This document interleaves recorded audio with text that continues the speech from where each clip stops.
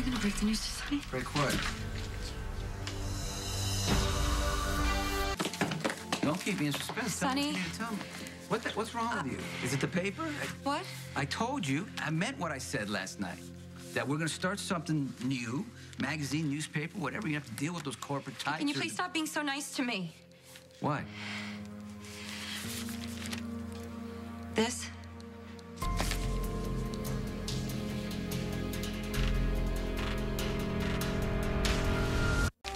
This a joke? I wish it was How did they get it in the print? from me. You ran the story when I asked you not tried to? to stop you tried to stop it? What do you mean you tried to Last stop night it? at, at dinner, you were being very kind to me.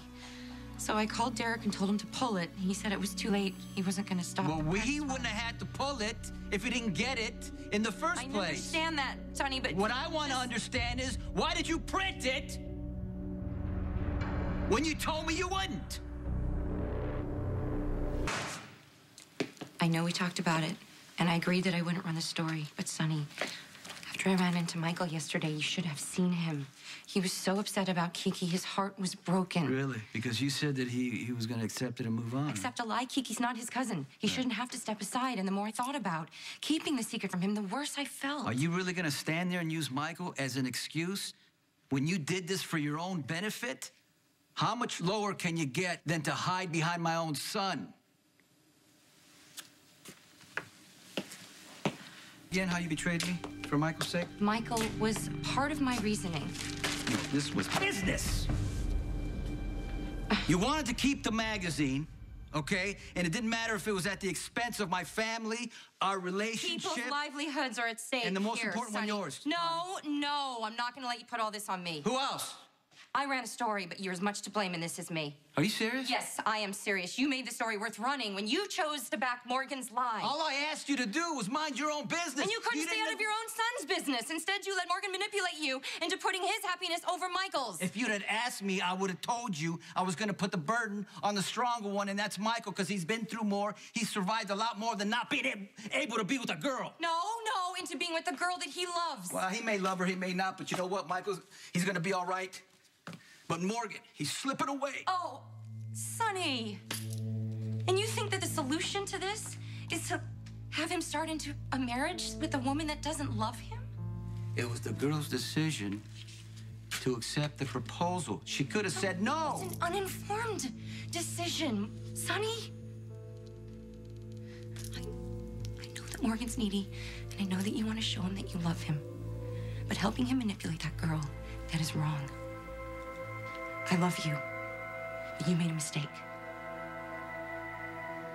No, this is going to cause more problems between you and Michael and Morgan.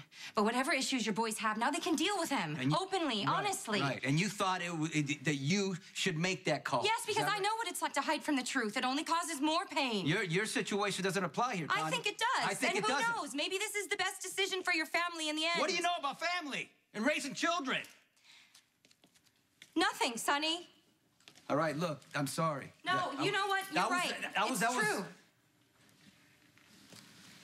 You just don't get to stand there and make decisions right or wrong about what I should do with my children when you did what benefited you. Oh, maybe it's best for your whole family, Morgan included. Uh, look, I, I believe that you didn't think you were doing the right thing. That's why you, you did everything you could to kill that story. I tried to kill that story because I love you, not because I thought you were doing the right I thing. I don't remember asking for your opinion.